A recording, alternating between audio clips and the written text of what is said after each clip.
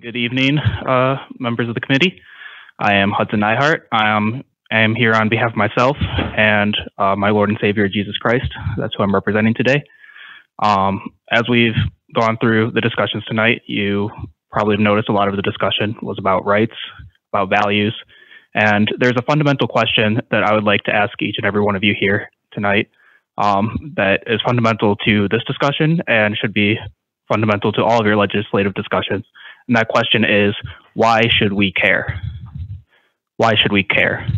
But on top of that, I would like to ask the question, why do we care?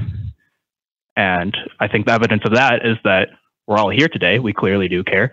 We're in a building that was built so we could be in meetings like this, showing that we care. And the only logical answer to that is that we are all created in the image of God. And that is how we can have these discussions on meanings and values. There's no other way to get to that. So we are all created in the image of God.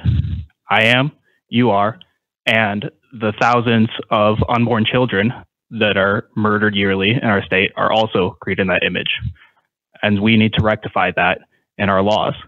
The laws that we currently have on the books do not have any way to ascribe the meanings to their justifications, to the values that they claim to represent. And so they're completely arbitrary. There's there's no basis onto which those laws are legislating. And an arbitrary law, by definition, is an unjust law. And so we must have a basis for our laws. We must rule justly, and you are accountable to God to rule justly. If you have any question on what his statement is on the matter, there is a lovely memorial in the park across the street that simply states, You shall not murder. And so, with that in mind, with our values being completely tied to being created in the image of God, we must rule justly, and uh, HB 1079 would do that.